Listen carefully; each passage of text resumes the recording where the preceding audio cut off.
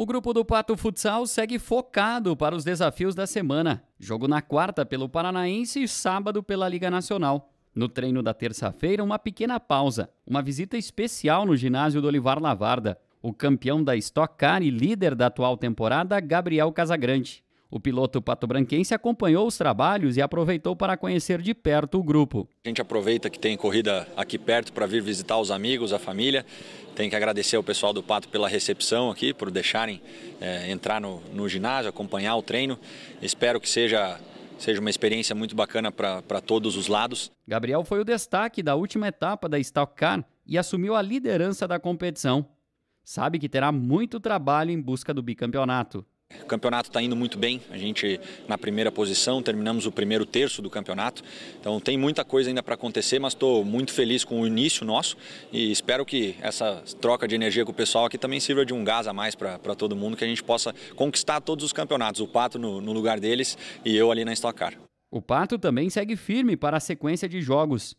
No comando técnico, agora Pedro Garcia foi efetivado e vai seguir como treinador até o final do ano. É uma honra, né? Ser treinador do Pato Futsal já era como interino, já era uma, já era uma, uma satisfação muito grande. Agora efetivado, então, agradecer a, a confiança da diretoria, né? Do, e os atletas, né? Que, que ajudaram muito para isso acontecer. O compromisso agora é o jogo desta quarta-feira fora de casa.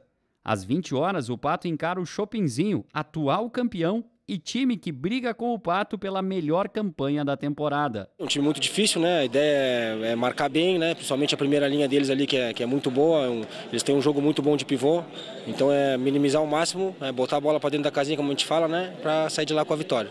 Para o confronto fora de casa, o time ainda vai ter desfalques. Mas quem vem atuando tem dado conta do recado. E as vitórias deram moral para a equipe. Expectativa grande, né, de jogar contra o atual campeão paranaense, um, um grande time. É, a gente vem numa crescente muito boa, numa fase muito boa. Então, acredito que vai ser um jogo muito disputado, né, um jogo de líderes que vão querer permanecer na, na liderança, né.